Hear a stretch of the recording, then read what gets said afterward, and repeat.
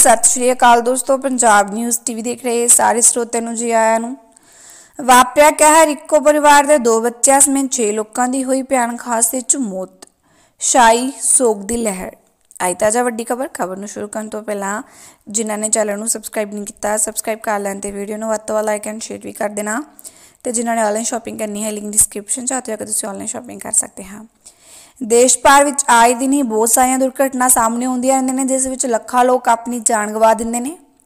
ਸੜਕ ਹਾਦਸਿਆਂ ਦੀ ਗਿਣਤੀ ਦਿਨੋ ਦਿਨ ਵੱਧ ਰਹੀ ਹੈ, ਜਿਸ ਦੇ ਚਲਦਿਆਂ ਲੋਕ ਅਸੁਰੱਖਿਅਤ ਮਹਿਸੂਸ ਕਰਦੇ ਨੇ। ਸੜਕ ਸੁਰੱਖਿਆ ਵਿਭਾਗ ਵੱਲੋਂ ਲੋਕਾਂ ਨੂੰ ਇੰਨੀਆਂ ਮੱਦਭਾਗੀਆਂ ਘਟਨਾਵਾਂ ਤੋਂ ਬਚਾਉਣ ਲਈ ਕਾਫੀ ਤਰ੍ਹਾਂ ਦੇ ਨਿਯਮ ਬਣਾਏ ਜਾਂਦੇ ਹਨ ਅਤੇ ਲੋਕਾਂ ਨੂੰ ਇਹਨਾਂ ਨਿਯਮਾਂ ਦੀ ਪਾਲਣ ਕਰਨ ਦੇ ਹੁਕਮ ਦਿੱਤੇ ਜਾਂਦੇ ਨੇ। ਸਰਕਾਰ ਦੁਆਰਾ ਬਣਾਏ ਗਏ ਇਹਨਾਂ ਨਿਯਮਾਂ ਦੀ ਲੋਕਾਂ ਵੱਲੋਂ ਪਾਲਣਾ ਵੀ ਕੀਤੀ ਜਾਂਦੀ ਹੈ, ਪਰ ਅਜਿਹੇ ਲੋਕ ਵੀ ਹਨ ਜੋ ਇਸ ਮਾਮਲੇ ਵਿੱਚ ਅਣਗਹਿਲੀ ਵਰਤਦੇ ਨੇ ਤੇ ਆਪਣੇ ਨਾਲ-ਨਾਲ ਸਾਹਮਣੇ ਵਾਲੇ ਦਾ ਵੀ ਨੁਕਸਾਨ ਕਰਦੇ ਨੇ। ਦੇਸ਼ ਭਰ ਵਿੱਚ ਵਾਹਨ ਚਾਲਕਾਂ ਦੀ ਅਣਗਹਿਲੀ ਨਾਲ ਵਾਪਰੀਆਂ ਦੁਰਘਟਨਾ ਹਰ ਰੋਜ਼ ਹੀ ਪੰਨਿਆਂ ਦੇ ਛਾਪਦੀਆਂ ਨੇ। ਉੱਤਰ ਪ੍ਰਦੇਸ਼ ਤੋਂ ਇੱਕ ਅਜਿਹੀ ਸੜਕ ਦੁਰਘਟਨਾ ਦੀ ਜਾਣਕਾਰੀ ਸਾਹਮਣੇ ਆਈ ਹੈ, ਜਿੱਥੋਂ ਇੱਕੋ ਪਰਿਵਾਰ ਦੇ 6 ਮੈਂਬਰਾਂ ਦੀ ਮੌਤ ਹੋ ਗਈ ਹੈ। ਬਲਰਾਮਪੁਰ ਦੇ ਵਧੀਕ ਪੁਲਿਸ ਸੁਪਰਡੈਂਟ ਅਰਵਿੰਦ ਮਿਸ਼ਰਾ ਨੇ ਜਾਣਕਾਰੀ ਦਿੱਤੀ ਹੈ ਕਿ ਮਹਾਰਾਜਗੰਜ ਤਰਾਈ ਥਾਣਾ ਖੇਤਰ ਵਿੱਚ ਇਹ ਮਤਪਾਗੀ ਖਬਰ ਵਾਪਰੀ ਹੈ। ਦੁਰਘਟਨਾ ਦਾ ਸ਼ਿਕਾਰ ਗੋਡਾਂ ਤੇ ਤਰਬਜ਼ੰਗ ਦਾ ਪਰਿਵਾਰ ਆਪਣੀ ਸਵਿਫਟ ਡਰਾਈਵਸ ਕਰ ਰਿਹਾ ਸੀ।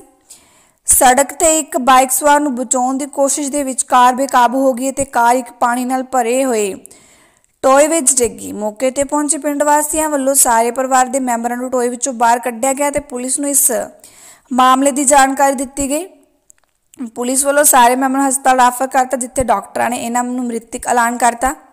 ਉਹਦੀ ਬਾਈਕ ਸਵਾਰ ਹਸਪਤਾਲ 'ਚ ਜੇਰੇ ਇਲਾਜ 'ਚ ਹੈ। ਇਹ ਹਸਪਤਾਲ ਉੱਤਰ ਪ੍ਰਦੇਸ਼ ਦੇ ਨੈਸ਼ਨਲ ਹਾਈਵੇ ਤੇ ਸਵੇਰੇ 7:30 ਵਾਪਰਿਆ। ਮੰਨ ਵਾਲੇ ਪਰਿਵਾਰ ਦੇ ਮੈਂਬਰ ਦੋ ਬੱਚੇ ਸ਼ਾਮਲ ਹਨ।